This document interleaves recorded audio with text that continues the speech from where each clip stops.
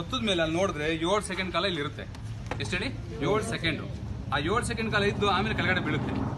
ಬಿದ್ದ ಮೇಲೆ ಸೌಂಡ್ ಬರುತ್ತೊಂದು ಆ ನಂತರ ನೀವು ಆಚೆ ಬರಬೇಕು. ಆ ಏನು ಕಂಪಾರ್ಟ್ಮೆಂಟ್ ಒಳಗಡೆ ಹೆಂಗಿರ್ತಿರಲ್ಲ ಆ ಏಳು ಸೆಕೆಂಡ್ ಆಗಿ ಕೆಳಗಡೆ ಬಿದ್ದು ಸೌಂಡ್ ಬಂದ್ಮೇಲೆ ಬರಬೇಕು.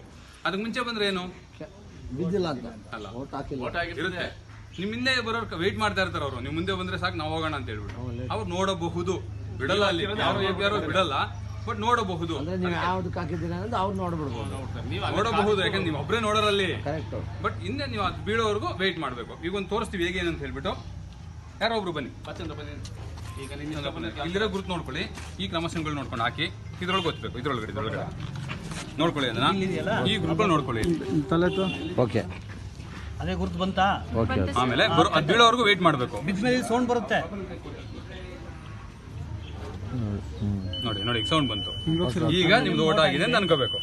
ಅರೆ ಇದೆಲ್ಲ ಅವತ್ತು ಬೀಳುತ್ತೆ. ನಿಮ್ಗೆ ಯಾರಿಗೂ ಕೊಡಲ್ಲ ಅದು ನಿಮ್ಗೆ ಯಾರಿಗೂ ಬರಲ್ಲ ಅದು ಸೀಲ್ ಆಗಿರುತ್ತೆ. ಇಲ್ಲ ಆಮೇಲೆ ಕೌಂಟಿಂಗ್ಗೆ ಅದೇ ಲೆಕ್ಕ.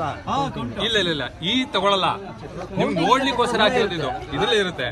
ನಿಮ್ಗೆ ನೋಡ್ಲಿಕ್ಕೋಸ್ಕರ ಹಾಕಿದ್ದಾರೆ ಈ ಹೊಸ ಮಿಷಿನ್ ಹಾಕಿದ್ದಾರೆ. ಆಮೇಲೆ ಈಗ ಏನ್ ನೋಡಿದ್ರಲ್ಲ? ನೀವು ನೋಡ್ಕೊಂಡಿದ್ದೀರಾ? ನೀವು ನಾಲ್ಕು ಜನ ಕೇಳ್ಬೇಕು.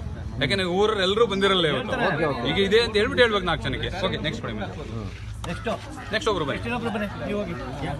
ನೋಡ್ಕೊಳ್ಳಿ ಯಾವ್ದಾರ ಒಂದು ಗುರುತು ನೋಡ್ಕೊಂಡು ಹಾಕಿ. ಎಸ್ ಬಿಡಿ ಸಾಕು. ನೋಡಿ ಗುರುತು ನೋಡ್ಕೊಂಡು. ಈ ಗುರುತು ಆ ಸಿಂಬಲ್ ಇದೆಯಾ ಅಂತ. ಇದೆ ಸರ್. ಅವತ್ತು